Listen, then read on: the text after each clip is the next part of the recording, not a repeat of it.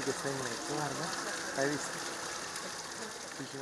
E questo che sta dietro di me è proprio un gruppo così come si trovano nell'ambiente naturale, una sorta di famiglia allargata in cui ci sono eh, i genitori, ma ci sono anche zie, fratelli, cugini, e quindi una grande famiglia di lemuri. Sono arrivati questi due cuccioli che sono due gemelli deliziosi che naturalmente stanno aggrappati al genitore. Ci sono state due scimmiette deliziose che sono il tamarino edipo. Il tamarino edipo è una scimmia del Sud America, è una delle specie più rare e più minacciate